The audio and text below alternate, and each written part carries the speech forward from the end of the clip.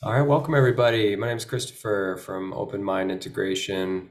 Super excited to have Lisa uh, back here, also now known as Majaya Jade Lee. And um, yeah, we're going to have a cool talk tonight. Uh, Lisa's going to, uh, also Majaya, uh, is, is going to be sharing about healing compulsivity with psychedelic therapy and play. Uh, she's got a, a, really interesting background in somatic psychology, neurobiology, uh, addiction, trauma, um, specializes in embodiment of agency and change.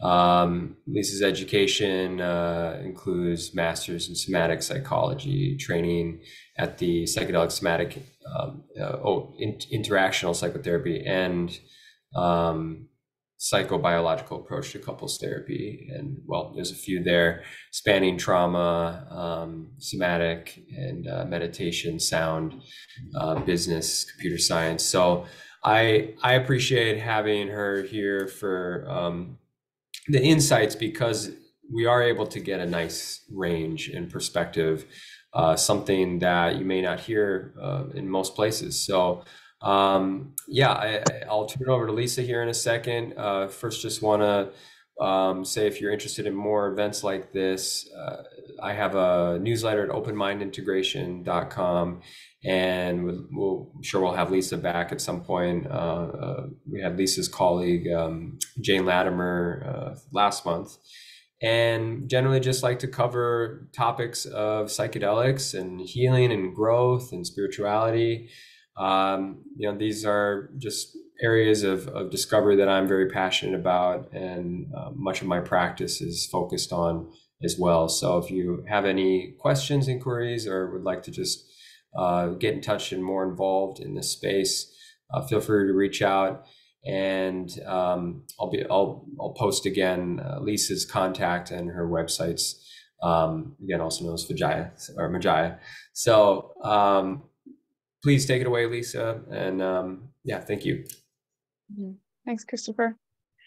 Um, yeah, so just in regards to the name, I've gone through a legal name change in the last month, um, but I don't take offense if you still call me Lisa. It's a long story as to how Majaya Jade Lee come came into being, and it's actually pretty directly related to um, this topic, but uh, if you're interested at the end, I'll share a little bit about it. Um, otherwise, what I'd like to talk about today is really going into the brain science, the neurobiology around compuls compulsivity, especially around compulsive eating, um, and as well as sex addiction, sexual anorexia, uh, gaming, that sort of thing. Um, and for those who don't know me personally or professionally, uh, I have quite an extensive personal background in the area of compulsive eating and uh, various forms of compulsive behavior. So I know this deeply at a personal level. If you want more, if you want to learn more about that, I have a other video that Chris and I did, another talk that Chris and I did about a month and a half ago that's posted on my YouTube channel. You can go there to find out a lot more about my history around it. Uh, I'm not going to go into my history in this uh, this talk, I'd like to just stick with really addressing some of the, the brain science and neuroscience behind it, what I've discovered and what I've, what I've applied to really heal and recover from what I think was pretty much a, let's call it a disorder or a compulsion that um, almost put me in the grave more than once and made my life uh, a living hell over and over and over and over and over again for probably uh, four decades. Um, so if you're there, I can relate, and uh, it is not a fun place to be. Um, and uh, so I hope that what I can offer might um, serve you in some way to help you along your your journey or your recovery recovery path. All right, so let me throw up some slides. I'd like to do about 30 to 45 minutes of just talking about the concepts that I applied for my for for my own recovery, um, drawing on neurobiology, drawing on psychedelic therapy, drawing on on uh, child psychology, drawing on the neurobiology of play, And so I'm going to go thick into that. And then for the last 45 minutes, I'd like to just do question and answer. Okay. So if you've got questions that come up during this um, talk, just write them down and save them to the end. Uh, and then I'll just, we'll just dive into whatever you've got for questions. All right. Okay. Anything I'm missing, Chris, before Christopher, before I jump in that you think that's I think that's cool. Yeah, go ahead. Okay. Um, Chris, if there's something that I share and it's like a little bit uh, not making sense to you, if you could be like the voice of the group and just maybe let me know, and I can always clarify if there's something that comes up. Okay. Sure, sure. We'll um, throughout it. Okay. All right. So here's our agenda. So what we're going to consider is compulsion as deprivation or compulsion as starvation, right? And so it's the question is, what are we deprived of? Right? And then after we go into that, we're going to look at how does the system or how does the body get into this state of deprivation? Like what's what's going on at a cultural level interpersonal level at an internal level that's causing this this uh, internal neurobiological state of deprivation or starvation? And then we're going to look at ways in which we can actually restore order, optimize the system, um, move the system out of a state of starvation and deprivation into a state of aliveness, into a state of sustenance. And it's through that process that, in, in my experience, that compulsions because it's m- much related to a sense of deprivation they they begin to resolve themselves they're just ultimately a symptom of a chronic state. Compulsions are a symptom of a chronic state of deprivation or starvation at the neurobiological level. And it's not starvation or deprivation of food. There are other aspects of our neurobiology that it, it that it is starved of. Um, so that's what we're going to jump into.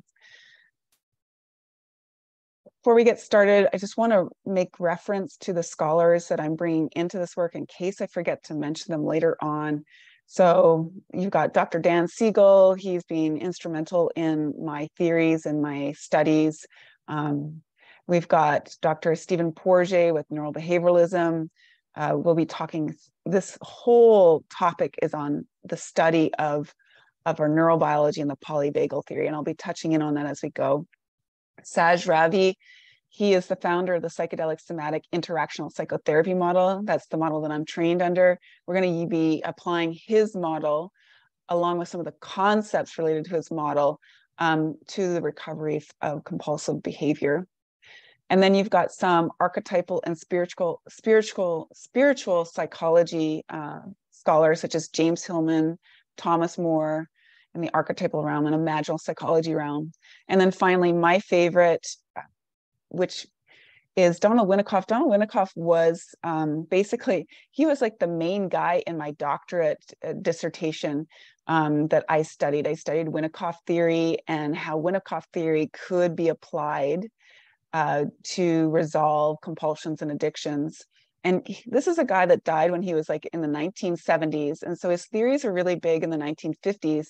And he was a pediatrician, a psychoanalyst, studied children, and the instinct for play and how play with the appropriate holding environment, appropriate safety could support the resolving of what he deemed as wicked behavior. And remember, this is like back in the 1930s, 40s, and 50s, so the terminology is a little different back then. All right, so let's get started. So let's consider first the the whole the possibility that compulsions are a sense of deprivation. And where that comes from is like I got that term deprivation from two scholars. One was Pat Carnes. Pat Carnes, he's he's written many books on sex addiction, and he's written many, or he's written a book on what's called sexual anorexia. So sexual anorexia is the opposite of sex addiction. So ultimately, right, sexual anorexia is about being starved of healthy sexuality. We are sexual beings, and what can happen is due to shame, due to trauma, to a lot of cultural, uh, religious, um, interpersonal impingements and um, uh, thwarting, we can move into a, a sort of hypoarousal or uh, diminishing or thwarting of our sexual uh, sense of being or healthy sexuality. And so he he terms he has a term in his one of his books called sexual anorexia he's got a term saying sex as deprivation and i loved that term because it's also in donald winnicott's work what he refers to as the system becomes deprived of the living experience right? And as a result compulsions emerge right? So if you have a sense of essential self the authentic self when it becomes impinged or thwarted, right, then your sense of aliveness, your sense of like, your sense of living, your sense of capacity to live life, your living experience becomes, you're deprived of it.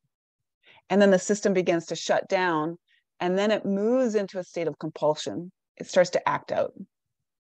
So this is what we're going to take a look at is compulsive behavior, whether it's sex, eating, gaming, cutting, is, is is a result of the our neurobiology our body is out of balance and it's moving into a state of deprivation right? And then there's an acting out process that's happening okay?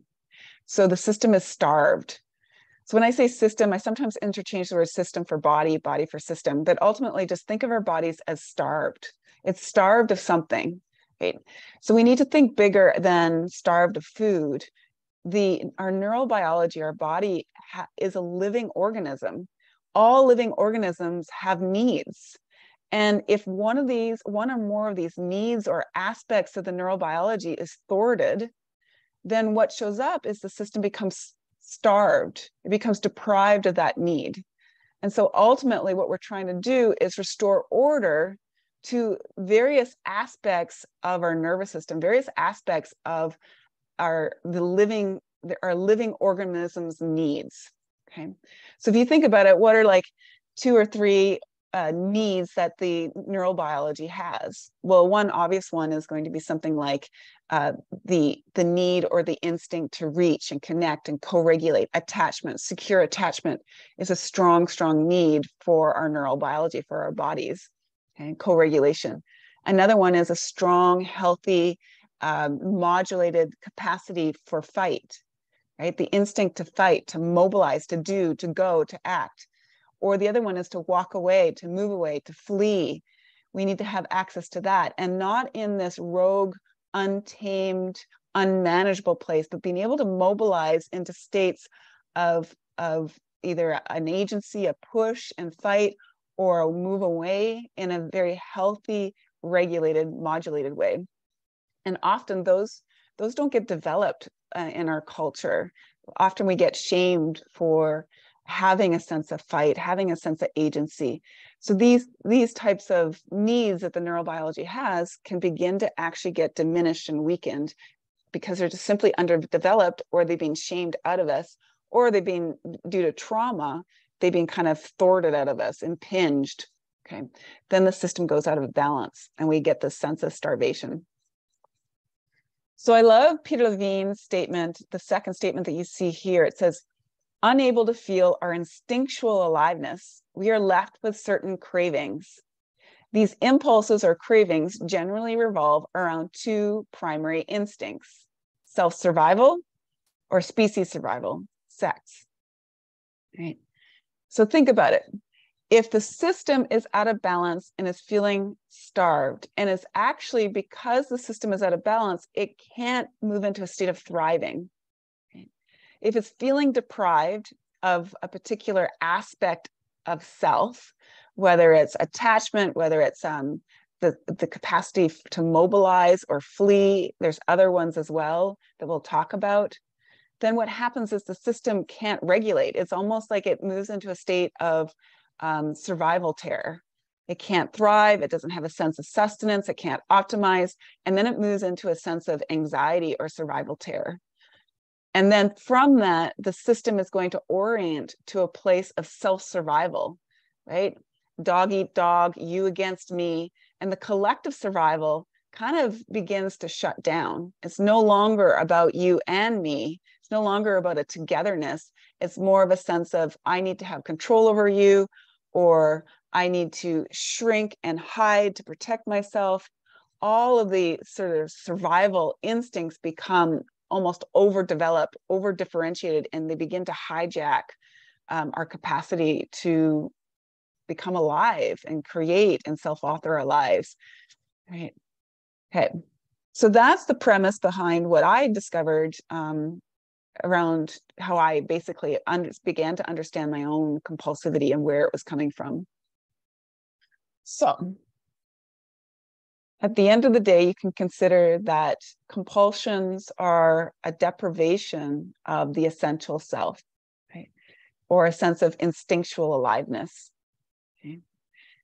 Or as Winnicott describes, a living experience. So there's some aspect of life, of life itself, that the neurobiology is being deprived of. Okay? So I'm just going to say that again there's some aspect of life, of breath, of vitality that the human system is being deprived of. And I, again, I like the statement from Peter Levine on the topic. Our ancient design remains intact. Thus, it is our legacy to feel really alive only when our survival instincts are fully engaged. We must unveil our instincts as, as they live within us rather than being alienated from them or forcibly driven by them. Okay. So, what he's referring to is that embodied sense of aliveness, that sense of sustenance and vitality, the embodied sense of life. Right? It can only come in, on, into being, our sense of aliveness, our sense of being, our sense of existence, our sense of self can only come into being when we have access and are able to fully engage our in instincts. So he's referring to these survival instincts. Right? So what does he mean by survival instincts? Right? And then how do we actually um, bring these survival instincts into being and have them be something that we can use to support our uh, recovery path or self-authorship path as opposed to be forced, you know, being dragged around, um, having them feel out of control. Right. So here is a few examples of these survival instincts. Let me back up. So let's just kind of review this from a, a bit of a different perspective. So one or more aspects of our neurobiology can be thwarted when you've got one or more um, components or needs or aspects of our neurobiology of our system that's thwarted or underdeveloped or even overdeveloped what happens is your neurobiological system your body your organism the living body that you are inhabiting cannot actualize it can't optimize it can't come to life. It's thwarted aspects of it are thwarted. It's no different than you driving a lamborghini and you haven't put you know maybe an aspect of the lamp you've got a like flat tire and you expect it to actually run properly we've really got to find out what are the aspects of the system that are thwarting that are underdeveloped haven't been polished haven't been cleaned or have might be kicked in the shins and being dented and they need to actually be um, nurtured back to life in order for the whole system to come to life right? that's what we're looking at so how can we optimize the system so, so you can come back into a state of sustenance and aliveness and vitality? When that system isn't in a place of aliveness, when there is subsystems that aren't optimized, then the system itself, the body itself feels completely deprived. It, it creates a feeling of anxiety, annihilation, terror, like it can't breathe. It can't come to life. How can anything come to life when it's not optimized? Okay. So examples of subsystems or aspects of the body that may be underdeveloped or overdeveloped or thwarted as a result of trauma, exact, et cetera, et cetera. One, I'm going to actually not go the list top to bottom. I'm just going to pick ones. So one example is your nervous system, what's called vertical integration if you use Dan Siegel's work. So this would be you have an underdeveloped fight instinct or an overdeveloped fight instinct that anytime something happens in life that fight instinct basically hijacks you and you're off to the races arguing or moving into a state of rage or maybe you have an underdeveloped or overdeveloped flight instinct that that anytime there's a fear or a threat or a stress, you bolt. Okay? Or perhaps you're someone who has a over overdeveloped freeze instinct. So deer in the headlights. Anytime there's any sense of stress in your environment, the system just goes abort the mission and it goes straight into freeze and perhaps dissociation. Okay? So you've got a overdeveloped sense of freeze response. And often, if that's the case, then you've got an underdeveloped flight response and an underdeveloped, an underdeveloped um, fight response. So when we've got that, whatever you've got going on, whether it's an overdeveloped or underdeveloped fight, flee, flee, or freeze, you've got your you've got the system can't optimize, right? It's going to end up using the wrong tool for the wrong situation. When you need to use a fight response, you're using a dorsal vagal freeze response. And you'll just keep using it when it's like you've got a hammer, so everything looks like a nail. I'm just going to freeze at every situation. You, then the system can't optimize. And in those, then what shows up is the system is going to have to find other ways to create safety because it's like, we can't keep using freeze all the time. So then it's going to move into compulsions. It'll move into compulsive eating, to isolate, to hide, to shut down. It also reinforces the freeze response. We know that compulsive eating creates a numbing, an opiate effect, kind of creates this kind of collapse, it softens. So that's just one example. You can have an overdeveloped, unhealthy sexuality or a very underdeveloped sexuality where you're in this sexual anorexia, which then that would need to be developed. Or you might have an autonomic nervous system that's completely dysregulated. You can have interpersonal uh, challenges, which is an aspect of your nervous system you can have what's called memory and narrative integration problems, meaning your past, your history doesn't make any sense. And you have a storyline that maybe someone told you, or a storyline that just seems incomplete, that actually doesn't feel integrated to your nervous system. The trauma is unresolved from your history, and it's showing up in a way in which the narrative doesn't make sense. And as a result, our nervous system wants to use the past to help it navigate the future. Okay? It's trying to use the experience of the past and integrate that in a proper way so then it can actually self author a different future. It can make a different choice for the future. But if it doesn't make, if it can't make sense of the past, it can't actually self author a new moment in time for the future. Instead, it's going to reenact the old patterns in an attempt to bring them up so it can actually make sense of it in order to actually then finally move on to self-author a new possibility. And that's really, really important to understand that we can have thwarting or um, dysregulation or disintegration in the memories and the narratives of our past.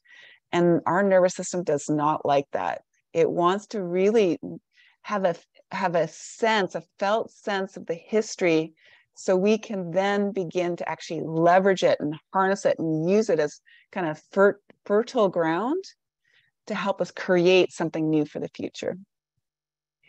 And so then that brings us to the last one, which is creative creative living. This is a word or a term coined by Donald Winnicott. And he suggests that creativity is an instinct, it's a survival instinct it's the our capacity to evolve to transform to self-author and it can get thwarted right? So you've got a number of components of our ner- of our nervous system of our autonomic of our neurobiology that easily can get thwarted or underdeveloped undernourished and then our whole sense of aliveness can begin to get thwarted.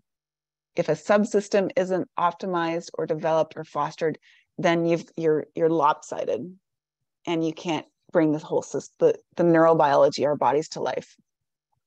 Okay. All right. So i'm going to go into each of these just a, a tiny bit more.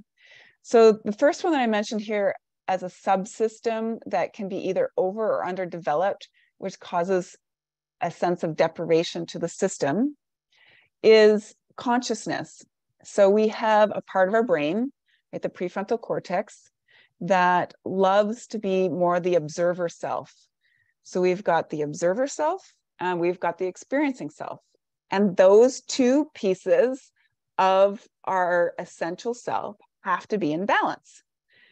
And if they're not, it creates dysregulation. And with dysregulation, we can then attempt to manage it with certain compulsive behaviors. So one area of our neurobiology that we want to make sure is in balance is the is the ability to observe the self, right? Be mindful of the self and the experience of self. So one example where this can go wrong is um, with individuals that do transcendental meditation, which is an awesome meditation, but it can be overdeveloped to the point where you are overriding your body and overriding your body's experience. And you're just in this observer mind, so unattached, you're not in your living experience. You're not in your living organism body. You're not having a human experience. And as a result, the compulsion can be to keep returning back to transcendental meditation in an attempt to self-soothe right any expanding your window of tolerance towards having a living experience in this living human body can be almost intolerable and can frighten this frighten the system because it doesn't know how to handle that and so then it just overdevelops and over differentiates towards the, the state of consciousness or mindfulness right and then of course your neurobiology isn't going to like that. So it's going to try and move you back into expanding your window of what you can tolerate for the living experience, having a human experience on this planet. And because that window of tolerance isn't very large, then what shows up is that the system begins to fragment. And then the compulsion becomes I have to return to my transcendental meditation.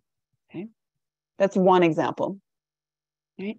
You can have the opposite. Uh, Chris, did you? Uh, I was just gonna say I, I actually went to the Transcendental Meditation University and I saw this on a level that most people wouldn't believe. There was people meditating for decades and they just opted out of life. They just stopped doing everything. So that was spot on. Thank you. That was awesome. You're welcome. Yeah, you see it all the time. You see it in the in the psychedelic assisted psychotherapy world where and and maybe we'll take a look at let's actually go on to this direction just for a second so so you can use psychedelics to really help you heal and they can be so powerful and it can assist in so many ways but sometimes we can unintentionally use the medicines in the same way that we are using transcendental meditation where we are lifting off out of the body out of the lived experience and we're going somewhere else in this dissociated state so it becomes a, a sense of escapism and it can become a compulsive. Mm-hmm. All right. So let's move on to the next one. Oh, actually, I forgot to mention some people are overdeveloped in the other realm. So you can be overdeveloped in the realm of mindfulness, where you're very detached from the living experience, or you can be overdeveloped in the living experience and have very little window of tolerance for being the observer right? So you're very much swept up by suffering. You really struggle and stay in the sense of the material world, in the body, in the pain. And it's it's almost feels like you're like it feels like you're in jail. At least that's how it's felt like for me. Is I'm stuck and I'm trapped and I can't get out of this lived experience, and it's just all pervasive right so in that case building that sense of um, the consciousness or the mindfulness would be a really good thing However, some people cannot do that. And I'll explain way later. Chris, if I don't explain it, remind me. We're going to come back to a term called uh, neuroception. Um, Stephen Porges talks about people who struggle to move into states of transcendental meditation or mindfulness. It often is because they need a prerequisite. And that is what's referred to as the neuroception. Okay, so we're going to talk about that.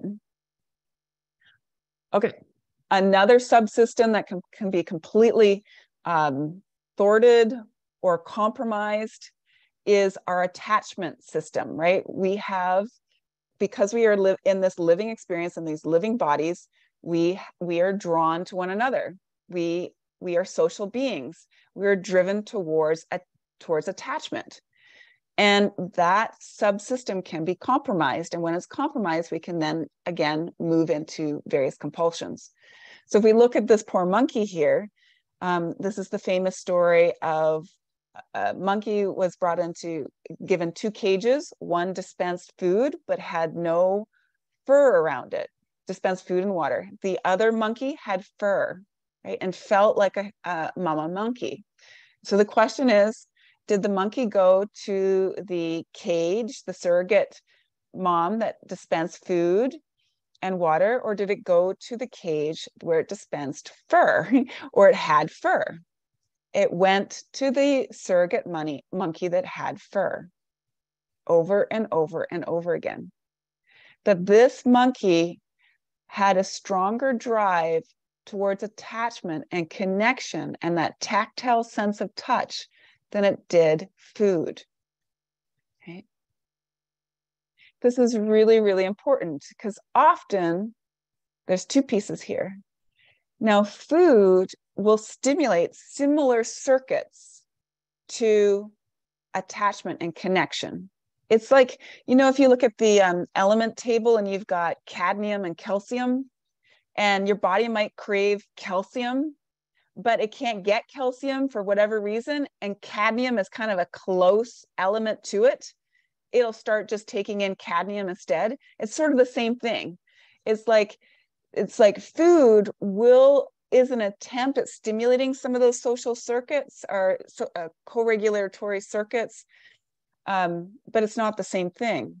And so what can happen is that the system is deeply deprived of social engagement and connection, it will eventually try to move to food as an attempt to get what it can't get with attachment. But if you really go deep into the neurobiology, it's truly looking for attachment, right? Attachment is meant to calm, in some cases, the nervous system, right? co-regulation, collaboratively regulating with another human being is meant to soften us. It's meant for us to feel safe in and trusting in and amongst another individual. When that doesn't happen, the nervous system goes into a state of vigilance. Well, our nervous systems can't stay in vigilance. It's not healthy. It'll kill us to always stay in vigilance. So we'll tr- so the system will try to find something else. It'll feel deprived. It's like I can't stay in the state of vigilance all the time. I need something to soothe myself, to bring myself back down to homeostasis. Mom's not around, dad's not around, maybe dad's a threat, mom's a threat, something's happening that's that that the system can't co-regulate. So it'll look for something else. It'll try to find a trick. Food is an example of a trick. Alcohol is an example of a trick Masturbation is another example of a trick. Cutting can be another trick. The system uses to try in an attempt to bring the vigilance down. It often doesn't work. Instead, it brings it into a state of freeze as opposed to dropping it into a healthier state of homeostasis. Okay. Did I do that? Do you guys see the yellow line? Is it only me that sees it? I, I see Yeah, I it. see Yeah. it. I see it. I must have hit something. All right, we'll see if it comes up here. Oh, wonder how I get rid of that. All right, you guys get a, a line on the slide. Oh yeah, I don't. Oh, it might be the, on Zoom. You can like draw. Oh yeah, Yeah. Oh, they annotate. yeah. There should be Let's an see, undo. erase. There's an undo button on on the top there. I got it. Okay. So here's what happens at the nervous system level when you've got um, a monkey, let's say this guy here, who has got a good, healthy mama. Is the the the child, I think that's someone else that's doing that. I don't think that's me. Unless there's I'll see if I Yeah. can disable something to prevent that. I mean, it's cute, but it's I think it's a new feature or something. I mean, I'm okay with it if everyone else is. I don't know if it's distracting. It's, I think it's fine. It's fine. Yes. Okay. All right. Yeah, we'll leave it unless it starts scribbling all over the. So you've got, um, if you look at the reptile reptilian part of the brain or the brain stem, you've got your green. What that refers to is safety. So the bottom piece is safety. This is your sense of I feel safe and connected and aware of my surroundings, open and relaxed. Right. Then you've got your red zone, your do, your go, your act. If you get really high up into the red, it's your fight and your flee. If if you feel very overwhelmed because you're in a state of real threat and you're feeling like you can't escape or mobilize out of the threat, you then move into a freeze. Right? So with this little guy, right? If he was just given a monkey that dispensed food and water, but didn't provide any connection, what would happen is that little monkey would be moving out of that sense of safety and would start to probably feel pretty anxious and tense, maybe panicky, and keep trying and trying and trying. And then eventually, the pain of not being able to get that real connection would be so great. And he would f- feel like he wouldn't be able to mobilize out of the situation, that he's just trapped. The only option he has is to attempt to connect with a caregiver that's only offering food and water, and it's not what he or she wants. So then the system moves into a freeze response and numbs itself, it thwarts that need for connection because the pain is too great.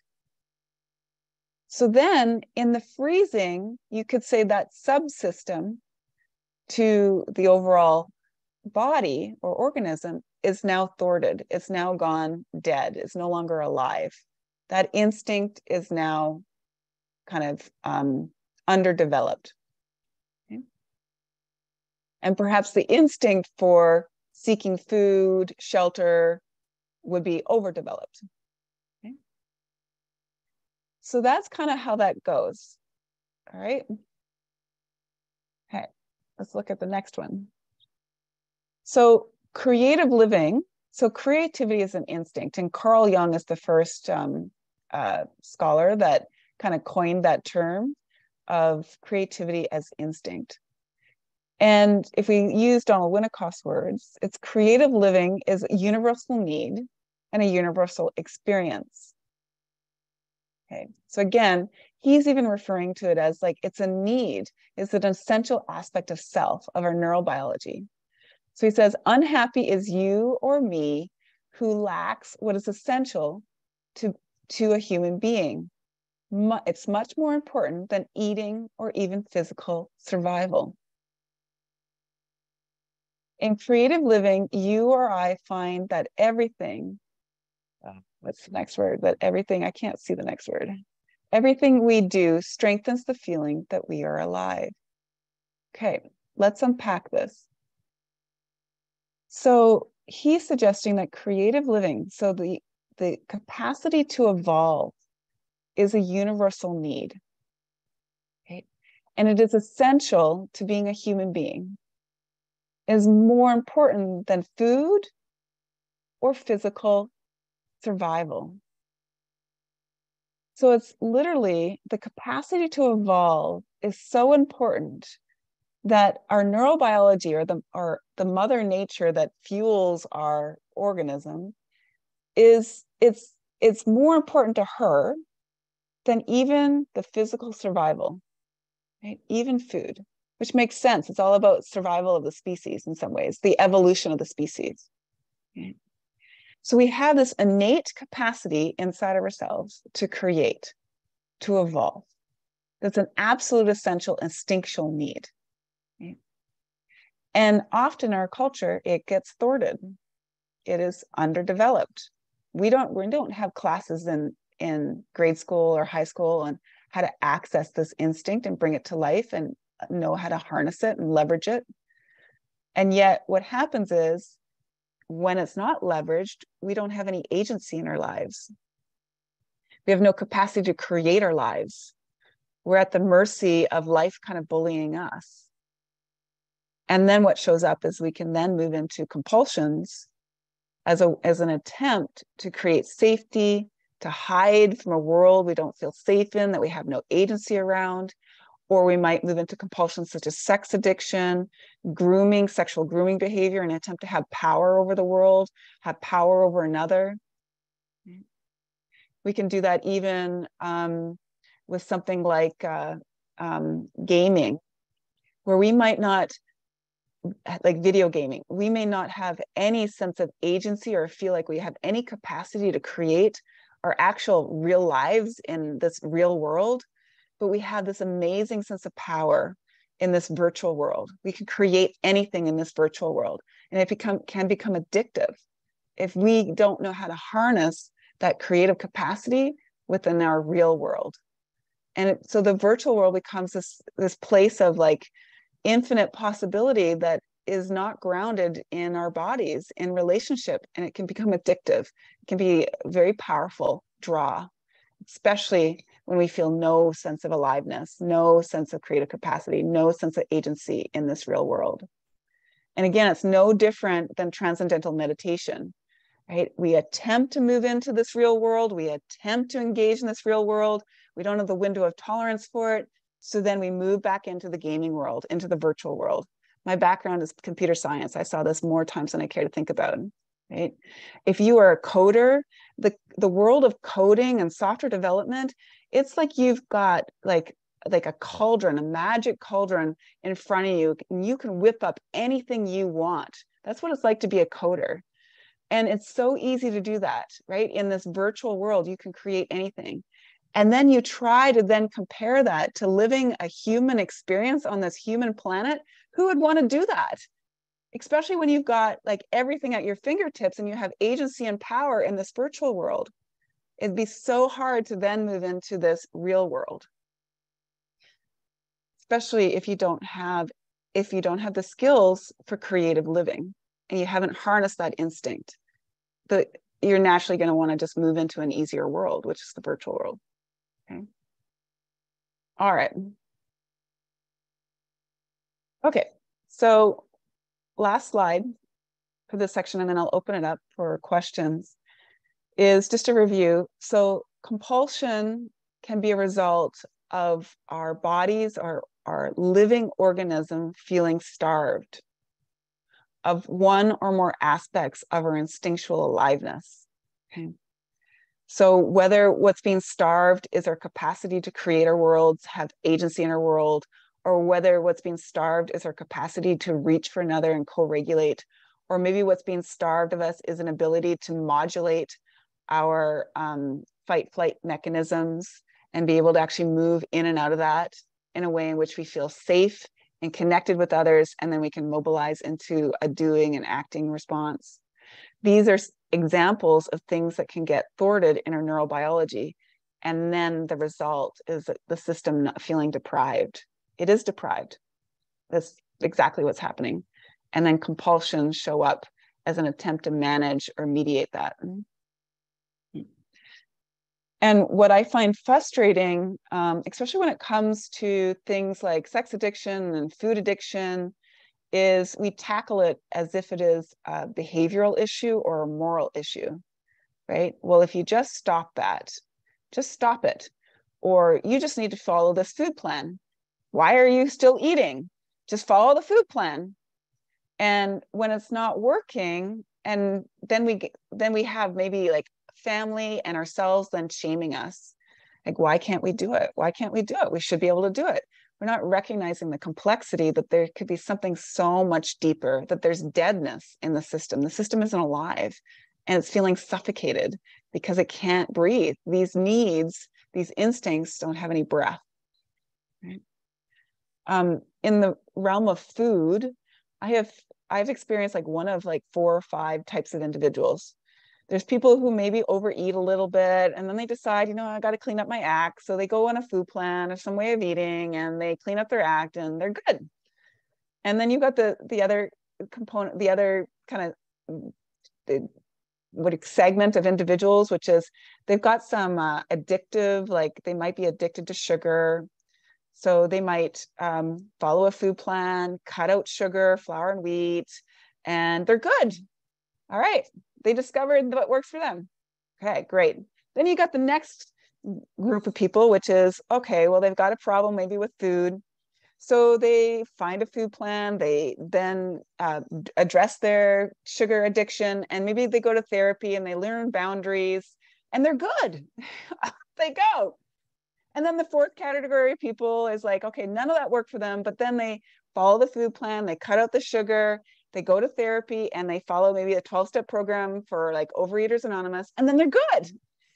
and then there's the rest of us where it is a much deeper issue. It's an it, it's an issue of soul. It's an issue of existence. It's an issue of embodied sense of aliveness where we need to come into a sense of being where there's so many facets that need to be looked at um, from a relational point of view from a somatic point of view from a creative authorship point of view that is that really what we're doing is restoring order and i do think the 12 step model touches in on that but uh, oftentimes even the 12 step overeaters anonymous model can be used as even another form of avoidance of some of the things that might be going on deeper. Um, but that's another topic. Okay, so I want to share this um, this comment by uh, Winnicott. Compulsive wickedness is about the last thing to be cured or eventually stopped by moral education. The child knows in his bones that it is hope that is locked up in the wicked behavior. And that is despair that is linked to the compliance and false socialization. For the antisocial or wicked person, the moral educator is on the wrong side. That might be a mouthful, but what I want you to hone into is that the first two sentences so compulsive wickedness, so to speak, so compulsive behaviors are the last thing to be cured by moral education. You can reason it, you can have as many whys as you want. It's not enough. Right? The child knows in his bones that it is hope that's locked up in the wicked behavior. It's if you look at behavior, just compulsion is like Morse code. It it's in the compulsion that there is something it's it's trying to speak to us. It's uh, Thomas Moore describes it as it's the soul speaking to us through symptomology. And if we can begin to learn our own morse code our own sos code that's showing up in the compulsiveness then we'll begin to see what are the underlying impingements to the system what subsystems are being impinged that need to come to life. Okay. All right. So I'm going to pause there.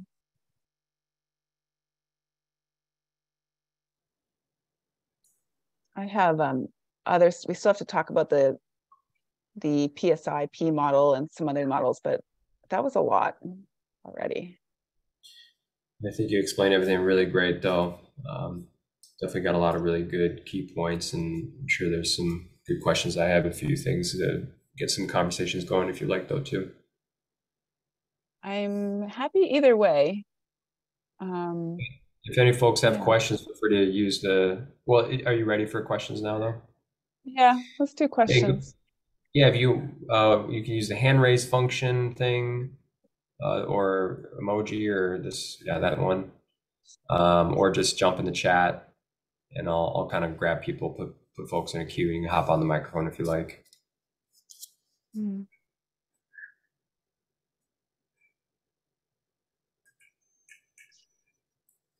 Everyone yeah. but Deb is on. Yeah. yeah, if you like, I um, I have a couple questions of my own. Um, sure. One thing right from the start, you know, you were describing in uh, really good clarity uh, the the nature of um, how survival instincts when we circumvent them through various means you know when we're living a lifestyle where Mm. we don't have to think about the basic needs basic instincts uh, how that uh, causes us to develop this deprivation this this state of of always needing to fill a void that can never be filled you know where addiction and all that comes from and um, i'm wondering you know in the in, the realm of like technology, modern conveniences, obviously those kinds of things contribute a lot. How much do you advocate for like a naturalist, minimalist kind of lifestyle, kind of getting away from technology and getting closer to nature? Yeah, that's a good question. Um, in my doctorate, uh, I basically my my research question was, what are the conditions that would bolster and improve the mutual emergent relationship between technology and people? So, in other words, in what ways can we create a win-win relationship between technology and people? Because right now we're seeing compulsivity with technology. Um, so here's, I, I'll indirectly answer your question. I don't think it actually is. Um, I personally don't think we should be taking on a minimalist, a minimalist uh, approach. Instead, I think we should be, um, we should learn creative living and how to harness the capacity for self-authorship in a way in which would mobilize or push the technology uh, industry or sector to begin to develop software that was in compliance with our neurobiology. Because right now, what's happening is our neurobiology is being forced to comply with the way technology is built. So again, you're creating this impingement and the system's feeling starved. That makes sense?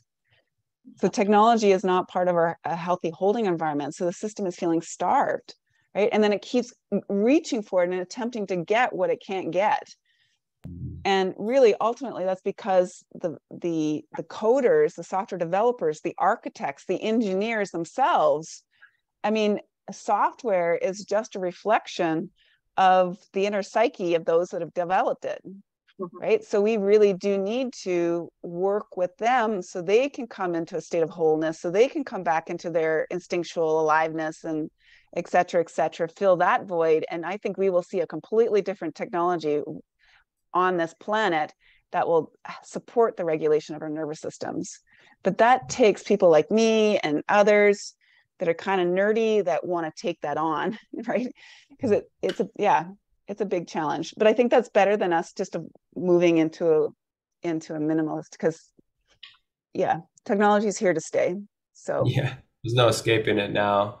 Yeah, I Mhm. appreciate that perspective a lot. Yeah, because yeah, it's the easy answer is just oh, you know, live more natural, live and go camping more. But yeah, it's it's just not feasible for a lot of folks, you know, especially urban living. And I mean, a lot of people, this is how we communicate now on computers, and so um, Exactly. I, yeah, it's it's and if you think about so let's talk about i love like that what you just brought up for a question if you think about it like yeah, if we are to be agents where we're actually to make a change in technology think about the the instincts that need that are thwarted that need to come to life. We have to be fighters right? We've got to be more assertive in terms of making that demand if that makes sense. Mhm. so anyone who has a level of avoidance of their own fight response their own anger their own rage and maybe they move into compulsive eating or compulsive sex addiction or compulsive meditation as an attempt to thwart that rage you lose a sense of your capacity to to be an agent in this world and make change in the world. So that's just one example of something that that would need to come back into being right?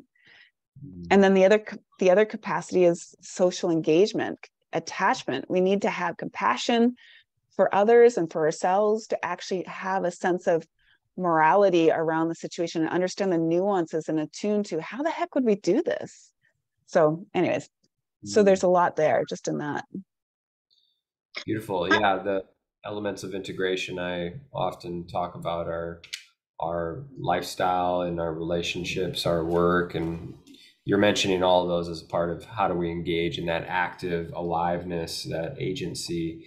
It's all those Mhm. external aspects of our lifestyle. So yeah, makes a lot of sense.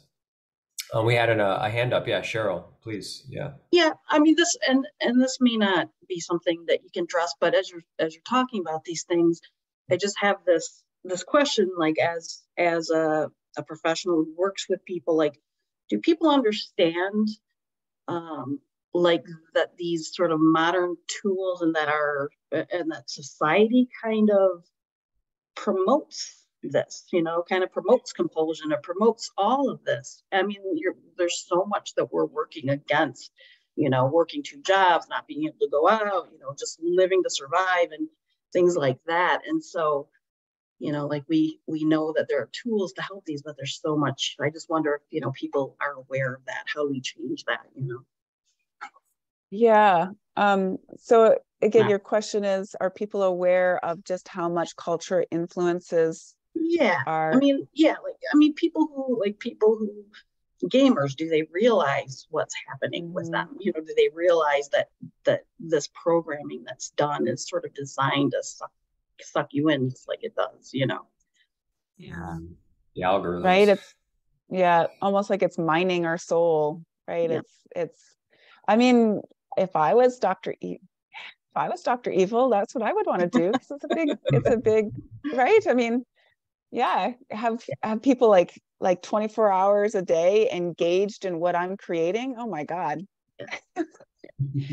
so yeah it's It's not I really a think that's question. why That's not really a power question. you can answer. addictive. say again i didn't hear that say again i didn't I hear what you said cheryl yeah it's okay I think Alright. she was just saying thanks. Uh, we got Mm. another hand up though, Carol. You want to hop on the mic, Carol? Oh yeah, sorry, I was starting my video. Yeah, Yeah. really good. It's so interesting. Um, uh, this information is really, really good. Um, I had to look a few things up while you were talking just to make sure I was tracking with you. But so, what's the process you go through to, if you realize you have a compulsive behavior around food or whatever, to getting to what's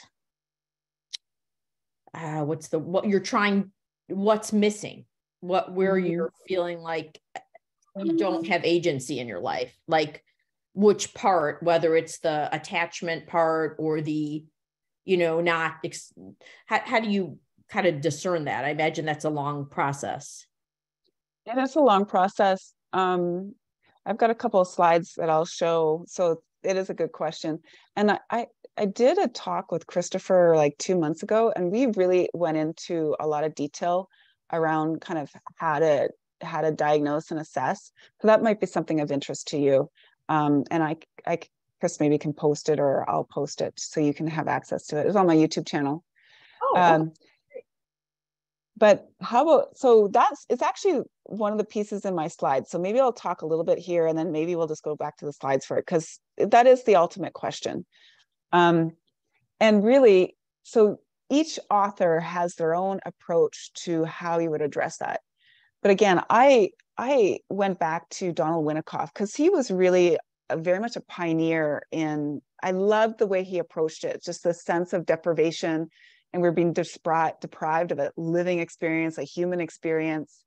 Um, and what he suggests is that children who overcome compulsive behavior, it's with two conditions play, they're allowed to play, and it's like a, a certain type of play. It has to have, it has to embody certain principles and concepts, and they have a healthy holding environment, right? There's enough safety in the environment for them to then play, right? So let's let's kind of go into this a little bit more. Um, hmm, how should I put this in a way that's trying to think of which one to go into first. You know what? We'll just put up, bring up the slides. So that'll be the easiest. All right. Okay, here we go. So Donald Winnicott and Stephen Porges, their suggestion for restoring order is they say play. Play has the potential to integrate many of these subsystems together at, at once. And it also has an opportunity to expose certain subsystems. Like through play, you can expose to see which sub, sub these subsystems need to be worked on, and it helps develop them. Okay. So let's go into this.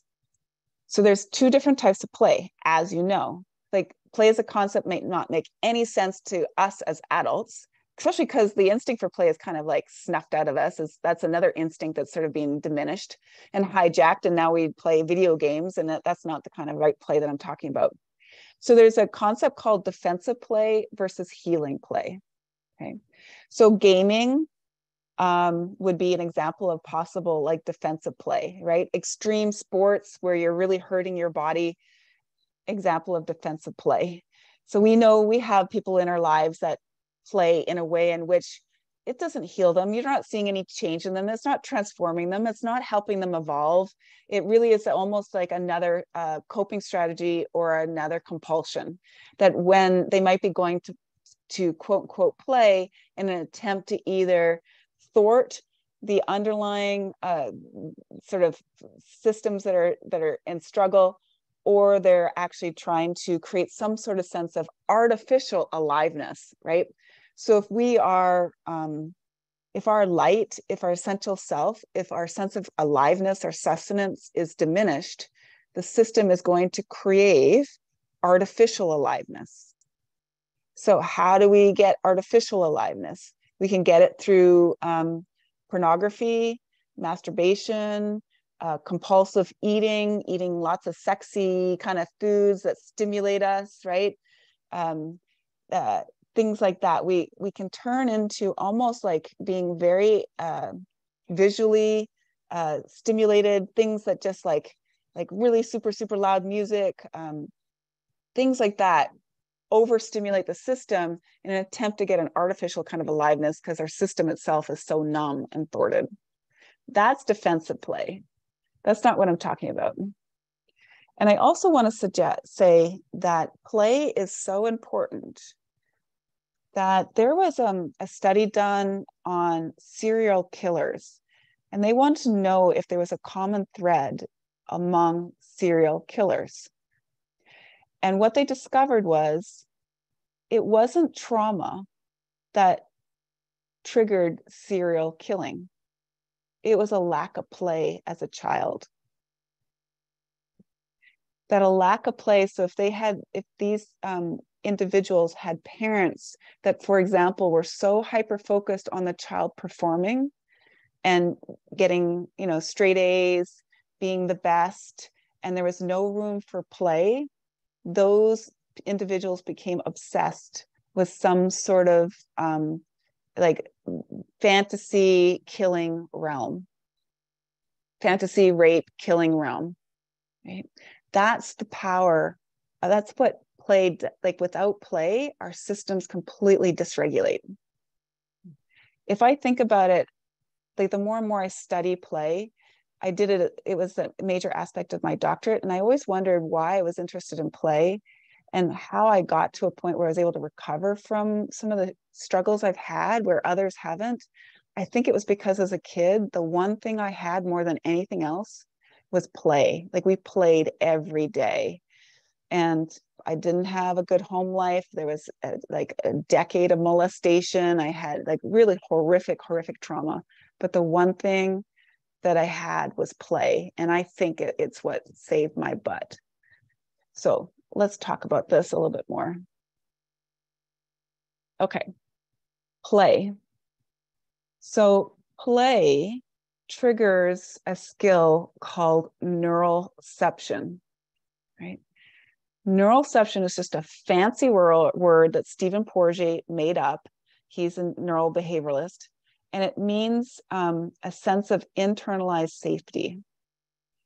Neuroception is your brain's ability to pick up cues of safety in the internal or external environment. It's like having your own personal surveillance system, right? So it basically detects uh, cues of threat and cues of safety and then tries to respond to them, right? Play is the number one process that builds this unconscious, deeply neurobiological skill. Right? So peekaboo, peekaboo game that is very instinctual to babies, you don't have to teach it, is, is a game that builds neuroception. It helps that infant begin to learn how to detect cues of safety from cues of threat and to be able to mobilize or fight, flight, and respond from them. Right? In addition, here's the thing if neuroception, so the ability to track cues of safety and no safety and internalize that and be able to mobilize, if if you have a really good sense skill in neuroception, you're going to feel comfortable in your own skin because you you're like, "Oh, I got it. Like if a threat comes, I know how to navigate it. I can detect it." So I feel comfortable in my own skin. Right? then what happens is there's less fuel going to the the the lower brainstem parts of your brain that are constantly in a manic state of managing your life and in hypervigilance and there's more glucose and fuel going to the more creative centers in in your brain so now you have a capacity to create your life so there's less stress and less load on your nervous system which means more regulation, which means less starvation, less deprivation, and more sense of aliveness because the system knows that it can actually respond to threats. Okay? So this is the power of neuroception. It's like a surveillance system. Play builds like that, like no tomorrow. Okay. So if you think about something like, um, let's actually, do I have, here it is let's look at um, this slide. So we're back to the brainstem. So if we think about play, so the peekaboo game or cops and robbers or hide and seek, we have there's mama, there's dad. Look at that. I'm safe. I'm connected. I'm aware of my surroundings. Mom, hi, dad. And then mom, dad hides there. Where'd mom go? Where'd dad go? And the system mobilizes into a fight flight. So, right there, the child is learning how to move into vigilance, mobilization as a response to threats. The child is also learning about reading facial cues. Facial cues. Where's mom? I can't see mom. Right? So the child is learning to read facial cues, attuning, detecting, attuning, detecting, attuning, detecting. That's helping the child build the skill of detection, right? Attunement. And then it's moving, moving into a state of vigilance, mobility. And then mommy's back. And then the system calms down and moves into a state of social engagement. So think about the subsystems that could be thwarted social engagement, mobilization, right? Creative living are just three. So play does what? It builds the social circuits of relationship, of attachment, of attunement, right? It also builds the circuits of knowing when to fight, of when to flee, how to mobilize. And it's also building the circuits of being able to move in up and down, be able to modulate in and out of that so you don't get stuck. A lot of people get stuck up here in mobilization and can't come back down into social engagement. So play itself is just literally like that infant is learning three of those subsystem skills. Again, attachment, co-regulation, mobilization, autonomic nervous system regulation, and because play builds an internalization of safety, it then evokes the creative centers. In addition, we all know, oh, where's mommy? Mommy disappeared the infant or the child now moves into her imagination. She's like, oh, what's going on? And then they begin to move into a more fantasy realm. And then they come back grounded into there's, right? And it's back and forth the imaginal realm, the grounded real realm, imaginal realm, grounded real realm. That triggers much more strength in the dialectic tensions that you need when you're actually creating something new. We can imagine into the realm of technology that actually is in compliance with our neural biology. And in the real realm, that ain't happening. right? So we could see that dialectic just with that. Okay. So Real quick, uh, pause there. Yeah. yeah, I was wondering actually, was there another slide with this diagram, but it was in a state of neuroception, like the freeze? Or, Mm-hmm. Yeah. You want to see see that? So this is this is a, a person who has a good um, regulated nervous system. So if I saw, if I could map someone's nervous system and I saw this, I'd be like, you probably don't have a lot of addictions or compulsions. You might have some, but they're not probably going to be some not compared to others who might have something that looks like this. That. So let's look at something like um, compulsive eating or yo-yo dieting. So let's look at binge yo-yo dieting. So you've got, I'm on a diet, but I'm in the state of like go, do, force, performance. So I've got my foot to the floor on the gas pedal. I'm exercising a lot. I'm dieting. I'm doing it. I'm like motivated. I'm go, go, go. So we kind of have this sympathetic charge, sympathetic charge, high energy, tense, go, go, go, right? Now think about it. The nervous system, think when you hear nervous system, think Mother Nature. Mother Nature is boss. And Mother Nature doesn't like to be in vigilance all the time. She's going to find a way to try and bring some balance to that vigilance. Having a nervous system that's continually in vigilance is just uh, asking for disaster. So she's going to attempt to bring herself down to this here. Well, she can't because those circuits have gone dormant. So what happens is she ends up recruiting the dorsal vagal freeze response instead. How does she do that? She forces you to eat food. So compulsive eating will numb the circuits. It can produce a lot of opiates. It creates this numbing sedation sense. It can actually mimic co-regulatory social engagement features and the system is able to like almost like reset or finally just collapse right? But then the system is like oh i can't stay here. Oh my god i need to lose weight. And so then it mobilizes back into your vigilance go push do and it only can stay there so for so long and the system then moves back into a dorsal vagal collapse with the food and so now you get stuck in this like yo-yo dieting cycle chris you you're on mute if you're if you were wanting to Uh, I'm just talking to myself, but it's making a lot of sense, really. Yeah, yeah. Yeah.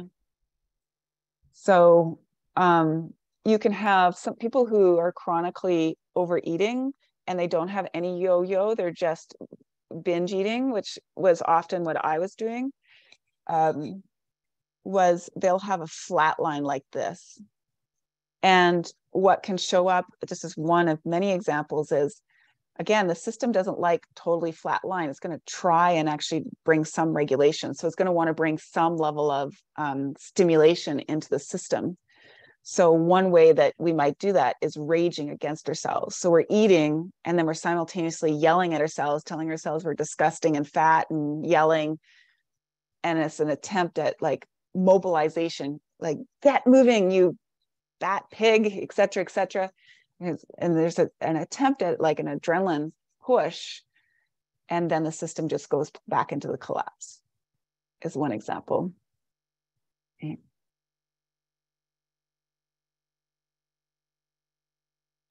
Um, uh, I just wanted, go ahead. in, Yeah. in- in regards to your prior example, I, it could also be the opposite, right? Where you're stuck in the blue, like you're kind of like numbed out, and then you do something to get a charge of adrenaline or whatever. You got it. Yeah. You'll see this with um uh so people who binge eat, they'll try to stimulate in some ways. So again, like raging at themselves is one example of how you might stimulate yourself out of the dorsal vagal freeze. Um, you'll see this with meth addicts. So meth and amphetamine, amphetamine is very, very uh, sympathetic, right? It's a sympathetic charge. And it if they when they try to cut out meth, what shows up is they go straight into the freeze response. So the freeze response is where their system is is like that's their frozenness, and they're trying to create an artificial charge by taking the meth, which tries to bring them down into the actual uh, the sympathetic. So when then when they cut out meth, they're back to just dorsal vagal freeze, and the and they're they they are so much in that collapse that they they can't move obviously because they're going through withdrawal but also there's a deeper sense of trauma that's keeping them in that. And the only way they can function is if then they go back into taking some meth. And then that will actually like move them into that functional freeze. They can function it's no different than someone who is a workaholic so someone who's a workaholic and all of a sudden they're in retirement or they decided to take some time off the workaholism is is like one foot on the gas, right? It's one foot in the sympathetic. They remove that compulsion and now they just go into a straight freeze response. Right? They're just numb, dead. And then they'll move into a panic because it's terrifying to be in that immobility state. And so they'll attempt to generate some other work. Like, okay, maybe I'll work over here or work over there. I'll find a part time job or I'll go back to work. They can't actually go into retirement, right? And the only way they can actually move into retirement is actually to work on the dorsal vagal freeze response that's in the way. Yeah, I want to mention something about, go ahead, Chris, if you have a question. Uh, yeah, I just had another question. Um, uh, if, if you want to touch on something first, that's cool. Let me go into exercise for a second. Sure. And then we'll go back. Okay, so the fitness industry gone astray. Okay, so think about this is just neuroception is an instinct, right? It, our bodies are driven towards developing neuroception. If it wasn't driven towards developing neuroception, children would not need to play. Children have to play. Uh, if neuroception wasn't a big deal to Mother Nature, to our human organism, we wouldn't have the peekaboo game. We wouldn't have the hide and seek game. We wouldn't have the cops and robbers game, right? We wouldn't have any, wouldn't have tag or tug of war. Those games build an internalization of safety. They help the nervous system be able to navigate this world with a little bit more attunement and a little bit more responsiveness, right? In, in many ways, um, our culture, technology, the ways that we educate our children are thwarting or diminishing neuroception. Everything's diminishing neuroception, even the fitness industry. And if there's one industry that should be actually leveraging neuroception more than any other industry, it should be the fitness industry. And they're not, they're doing the opposite. Because exercise is a form, can be a form of play, and it can be a simple way to build neuroception. But instead, we're taught to see our bodies as just this mechanical body that you get on a treadmill and run for 30 minutes and then get off like you've just taken it to the dry cleaners, right? We're not seeing it as a living organism that has a need for neuroception, the embodiment of, of safety, et cetera, et cetera. And so when we get on a treadmill and we run for 30 minutes, we're, we're in some ways negating that the living system and we're just like we're negating its need for for example neuroception okay? We're just treating it like an object. We're treating it like a machine that's getting its exercise like a dog and off we go. Now for some of us who have more sensitive systems than others our neurobiology or our, our the mother nature that is in us will not let us do that. We will start to feel like exercise is a threat. It will not look safe anymore because it is not safe. If we are forcing ourselves to get to the gym and do those like 10 miles on the treadmill where we're staring at a TV, that's not building neuroception. And our neurobiology knows it. And over time, we will not be able to stick with that exercise. We'll have to basically be the brute to force ourselves into the gym to do that over and over and over again because our bodies will fight us it's going against the grain the against the fabric of who of the living of our living existence and what it wants and what it craves it, it craves movement that builds the living system, that builds sustenance, that builds our neural ception, not the other way around. Okay. All right. So that was my song and dance on that. I love that. Yeah, yeah, it really points out that you can kind of turn anything into like a numbing uh Mhm. yeah, going back to that that drone free state. Um, I wanted to ask, so uh, you made a great point in connecting things like meditation, psychedelics, uh, you know, these kind of transcendent states of consciousness to uh, ironically uh, uh, addictive patterns and um, using it as an escape uh, and and that being being a, a big problem in, in a lot of circles. Where I'm I'm curious on that chart with the sympathetic, parasympathetic, and the social engagement. Where would where would you put those activities, uh, those kind of transcendental states? Um, that's a good question. Okay.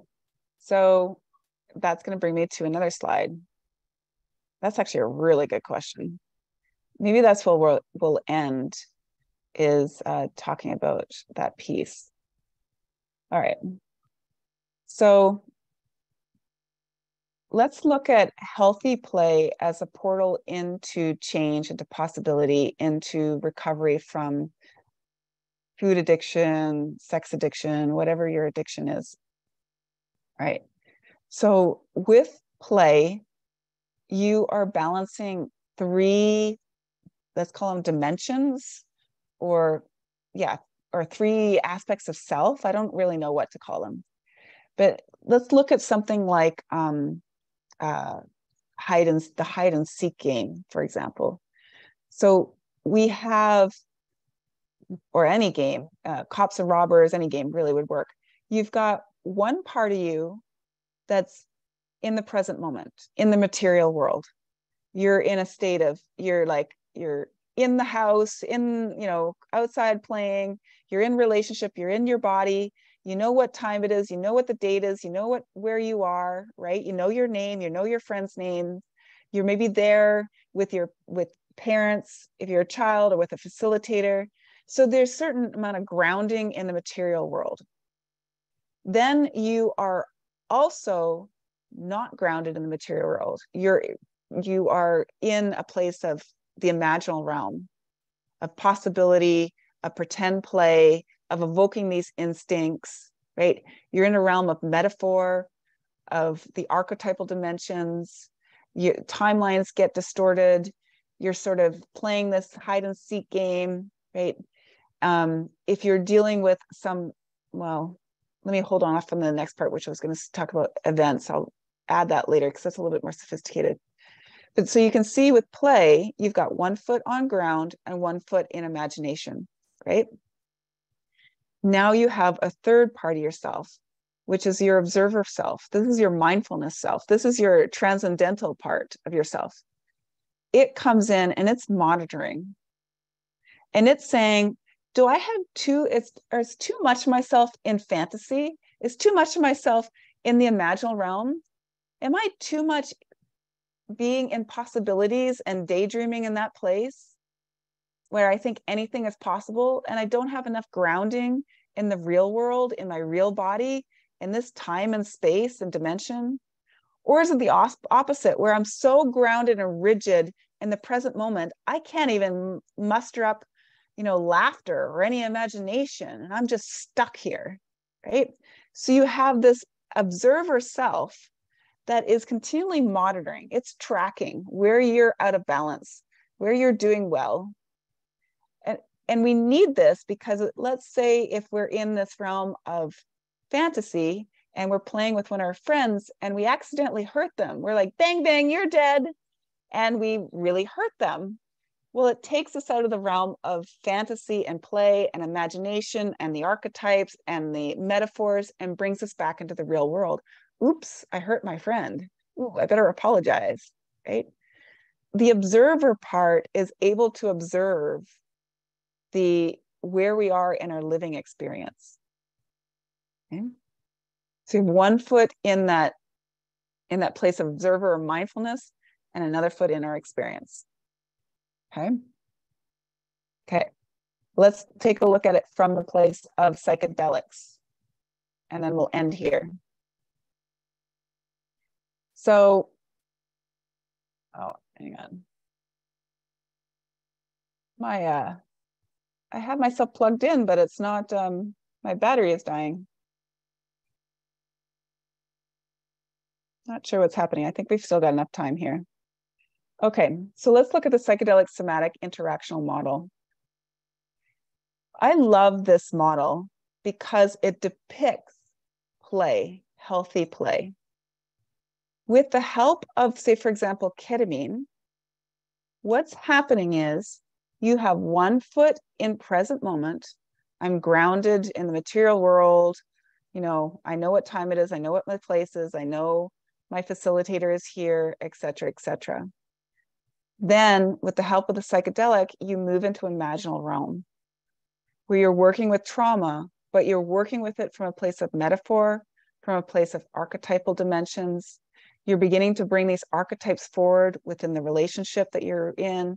The whole room and setting can be a playground to reenact the trauma in a safe way while you've got one foot on ground and one foot in this imaginal realm where the room all of a sudden becomes alive with the event memories. But you don't get sucked into the event memories and think they're real, like flashbacks, because you have one foot on the ground and your facilitator is there to support you in doing that. What tells you you've got one foot on ground is because you've got that observer part watching. Hmm, how much of myself is on, on planet Earth? How much of myself is actually experiencing and allowing the trauma to come forward in the in this archetypal you know metaphor dimension through my body through relationships etc does that make sense how does that land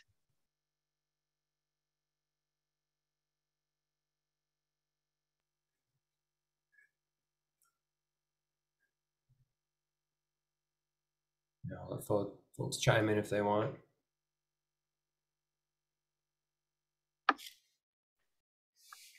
Uh, yeah, I think that makes sense. I think you explained it really well. So I think this is where the um, you are using the psychedelic. The psychedelic is not what is not what is making the difference. It isn't what's healing you. What's healing you is a number of things. It's one to be able to be in that dynamic of play, one foot in the observer noticing, oh, I can now step into the imaginal realm. I can evoke these event memories, these traumatic memories. They can come to life in my experience. But I also know that I'm in, you know, 2023. I'm I know my name, I know what time like what time it is, et cetera, et cetera. And that's what's needed. Right. It's no different than children playing. They've got one foot grounded in reality and one foot in the imaginal realm. Mm-hmm. So you've got a number of qualities or characteristics of that of the psychedelic somatic model that does the work. The relationship does the work. Your sense of mindfulness, mindfulness does the work. Your ability to pendulate does the work. The medicine is just one little piece. It just lifts the lid a lot, a little bit, but it's not what does the work. Yeah, this is an element of integration that I'm, I'm, realizing for myself I don't talk about enough. You know, I, I say a lot about, you know, you need to live a healthy life, you know, uh, improve just kind of the, the functionality of things. But um, there could still be these you compulsive habits, this sense of like you know just craving something, you know, just I need some some sweets or something like that. Mm-hmm. Um, and this is filling a big, uh, a meaningful part of, especially if psychedelics are a big part of your life, meditation, spirituality, those things I I think very easily can leave out that um, engagement portion of it uh, the, the grounding into some sort of uh, action. Uh, I mean, socialization, I think, is, is a wonderful thing to point out. But um, some of these uh, acts of play, though, like jujitsu that you've talked about in the past, um, that's when it's so tangible. You know, so it's like really you're literally getting your hands around something and, and going back and forth between that sympathetic and parasympathetic state. Um, having that rhythm in general. Uh, yeah, I appreciate the clarity on that. Real good. Yeah. Um, I would, if if you think about if we're looking at subsystems that are compromised and the nervous system is trying to bring them, them back to life, with the the psychedelic somatic model, right? The one the one system that the two systems that really get nurtured is that attachment system, right? That's what gets the corrective because we're deeply as facilitator and as yourself, you're deeply observing your own event memories, your own history with this deep attunement. And we're looking at, at the body, we're looking at how the relationships are showing up in this metaphor way, in this subtle, attuned but profound way. And that is so corrective for the system. It's getting what it didn't get back then. Back then, many of us wanted and craved a sense of attunement. Someone was there with us and could help us navigate through some of that messiness. So, what does the nervous system do? It reenacts that so it can get that corrective. So, I remember when I was doing sessions um, for myself, and I was using my nervous system had the whole room as its theater. So, it was using pillows, and I would end up falling, and a pillow would collapse on my face. And so the pillow became a metaphor for hiding my face due to shame, right? Or my hair would go across my face and that was me hiding again shame or right you like the whole room becomes a theater for the reenactment and the only way that you're able to work through that and allow for these correctives to come forward as opposed to get sucked in and feel like they're true is if you've got the facilitator there that's kind of supporting and attuning and you're both grounded with one foot in reality well you've got one foot in that event memory evocation and that does require a sense of mindfulness. Right. So again, just in that one example, where we are uh, um, uncompromising or bringing to life many of the dimensions that get thwarted body, fight, flight, mobilization, attachment, um, the creative spirit, the creative play, as well as narrative and uh, memory integration. Mm. And maybe I'll say one last thing, which is uh, so um, you don't have to do, people are very drawn nowadays to psychedelic medicine. Um, and it, we also need to make sure that we're not getting sucked into the hype, just like so it does become another compulsion. That in many ways, the concept of play, uh, I believe, needs to be embedded into our lifestyle. Everything we do can be an embodiment of play, at least the concepts of play, right? So um, the way we make our meals, and that I'm not saying you need to like put on some music and dance around your kitchen. That's what I'm not talking. That's not what I'm talking about. But when we are always have one foot in possibility for what's available to us and one foot grounded in reality. Right. And we're needing to observe where are we? So, for example, if I go to jujitsu, I've got one foot scanning my body and scanning the room, making sure that I'm in a good place to go and do jujitsu where I'm not going to get hurt. That's me grounded in my body, grounded in relationship. Eh, are the people I know going to be there? how am I doing? And then I've got one foot grounded in possibility and fantasy. And I'm like, oh, I get to like, like kick someone's butt tonight, or they're gonna kick mine, one of the two. Right. So it's opening up this whole imaginal world where so much of my fight instinct and so much of my social engagement instinct and my flee instinct was immobilized and thwarted and comp- compromised. And every single day of the week, I get to go and actually actualize that and mobilize that and bring that to life. Right and I don't have to pay anyone to do it. I just get to go and have fun and have some giggles and and that that to me is therapy. So we can do that with anything. We can do that with our relationship with food, with our relationship with exercise, with our relationship with work. Everything can be a creative pursuit that embodies the concepts of and principles of play.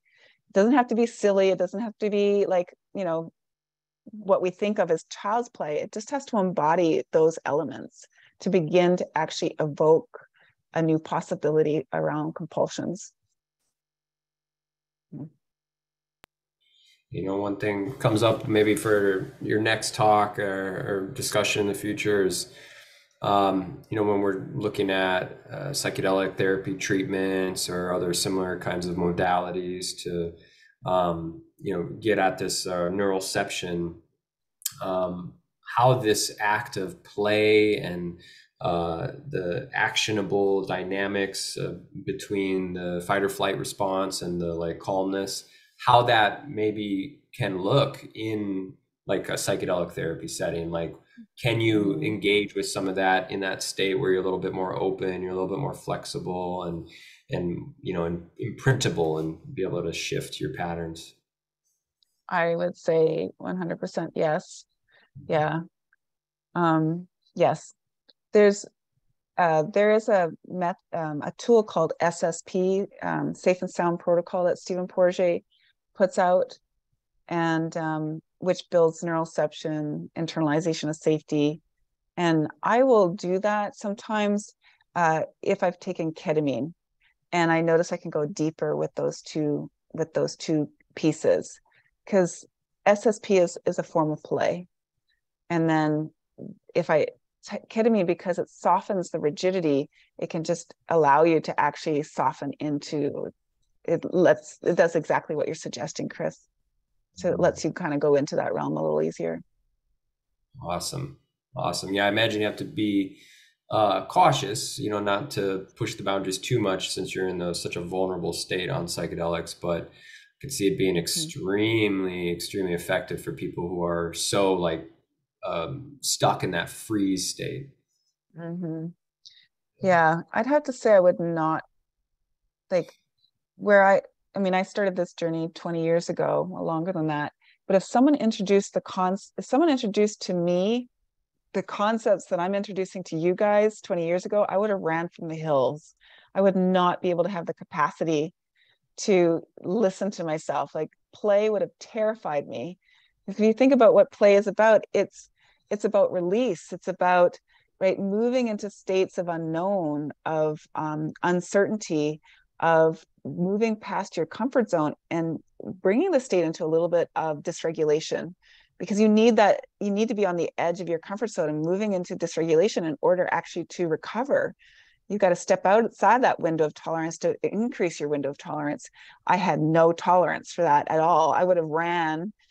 So it it is it takes baby steps to kind of explore this. I wanted someone to just give me a quick fix tell me what I needed to do. I did not want to actually have to dive into this whole realm. It was too terrifying. Just tell me what to do and I'll do it. That would that was what I would scream out to the universe. Just tell me what to do and I'll do it. And well, it, I kept getting pointed to this realm, which would terrify me. Um, this is great. Yeah. Any last questions?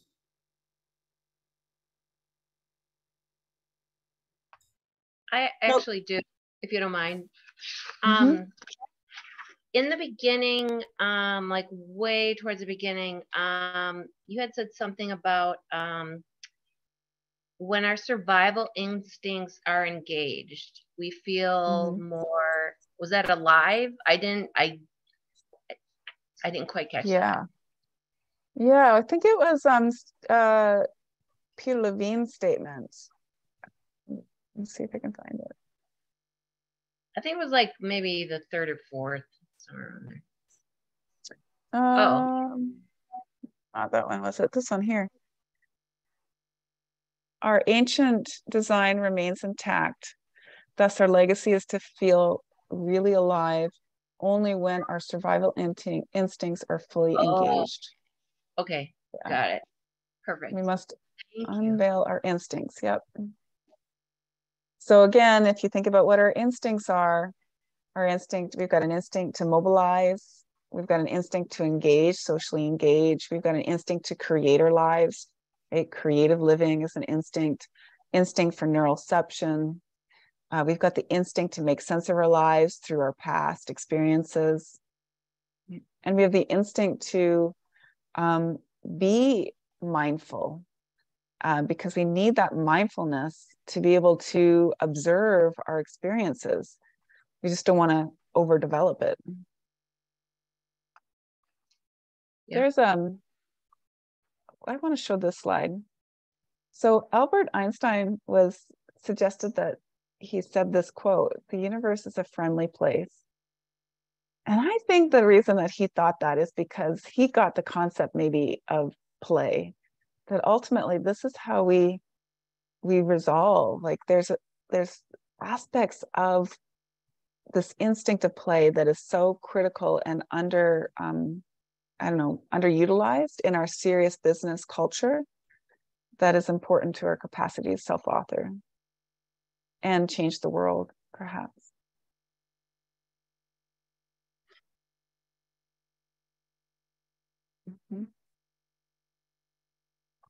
Can I ask a question?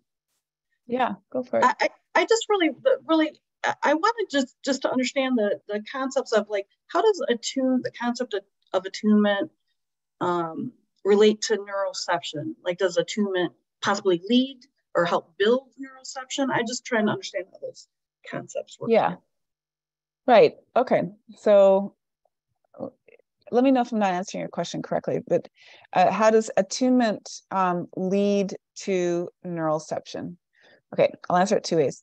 So if you've got um, a child playing peekaboo, so and mom's smiling and the child is tracking and attuning to mom's face that child is seeing a smile seeing bright eyes is hearing this voice of like sweetness right? Hues of safety coming through the through the voice pitch tone ex- intensity.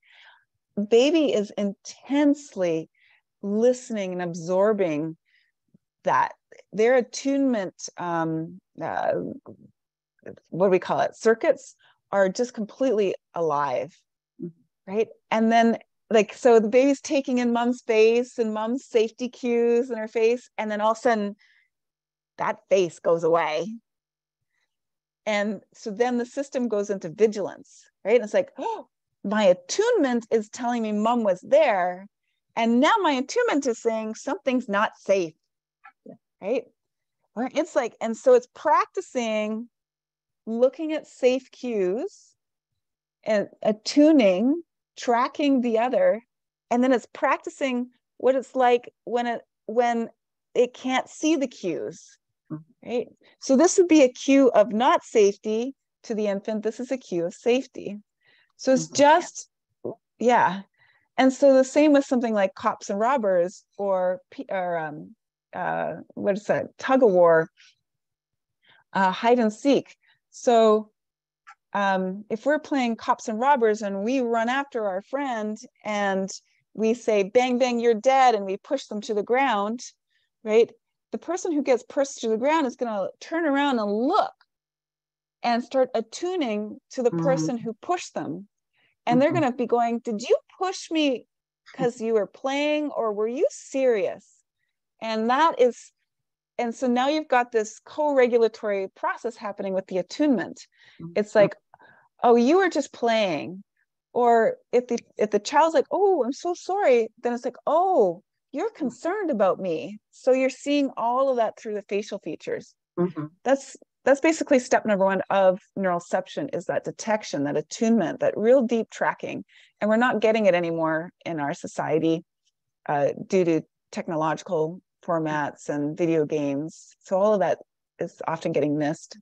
Okay, I see. Thank you. That's, that's helpful. And I, I will say Stephen Porges got a uh, a talk mm-hmm. um, that's about uh, when the facial circuits aren't stimulated enough, like there's not enough attunement, um, co-regulatory, that the body will try to actually use food in an attempt to stimulate those nerves mm-hmm. which I mm-hmm. find is kind of interesting.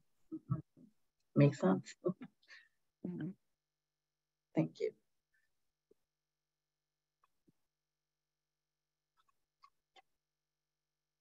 Awesome. Yeah, one theme that I'm, I'm gleaming from this is there's a rhythm to life you know and mm-hmm. and one one one way, one way or another i mean you're going to fall into a rhythm hopefully you fall into a rhythm that uh, is regulating your nervous system, your your sense of um, uh, just kind of your internal senses in a way that is sustainable. You know, I, I like those charts a lot because it shows that some people regulate into freeze a little too much, and, uh, and a healthy person is able to go back and forth between a sense of safety and a sense of like a little bit um, uh, energy or stress. You know, so I guess that's a good example of like healthy stress versus unhealthy stress, right? Because stress is not a bad thing in itself. It's just if we are chronically in it or we never are in it, we lose that rhythm. So having just amount of enough stress to to be able to keep us healthy seems like a good idea. Yep, you got it. Yeah, we need stress. It's just a matter of how much. Yeah, Mm. that's a good piece to put bring in. Hmm. Very cool. Well, I'm going to post your links again for folks.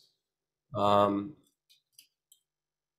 yeah, Majaya, Lisa has a lot of great services. Uh, maybe you want to end with just saying a little bit about what kind of stuff you offer, maybe one-on-one stuff or group stuff. Yeah, so um, I do one-on-one. Um, I do the PSI model, so the psychedelic somatic interactional model, psychotherapy model. Um, I co-facilitate groups and teachings and apprenticeships, um, classes. So reach out to me and I can let you know what's available if you're interested. Awesome. Mhm. Very Thank you, good. everyone. Are those all um in person? All those Say classes, again. the classes, are those in person, like the things you're talking about? Uh, no, everything's virtual. Oh, okay. Um, yeah, Okay. there's thank- some stuff where we offer intensives, that sort of thing, where you can come face to face, but most of it's virtual.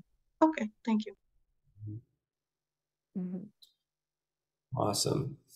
Well, I'll just say uh, thank you, uh, Majaya, Lisa. Um, this has been great. I, I love your perspective. Like I said, uh, you draw from a lot of different places, and uh, I think you do a good job at, at synthesizing a, a holistic view of things. That it's not easy to get that from a you know a lot of so-called experts. So, um, yeah, thank you for coming, and um, yeah, keep in touch with with uh, Lisa or myself. Uh, um, you know, we we're kind of members of this greater psychedelic community out there. You know, folks interested in healing, personal growth. So keep in touch if you're interested in going deeper on that. Um, and we'll see you next time. Yeah, yeah. Hit up the meetup and uh, get on the mailing list, and yeah, we'll keep in touch. Thank you. Thanks, everyone. Thanks, guys. This was awesome. Thanks. Have a good night. Bye. Thank Bye. you. Bye-bye.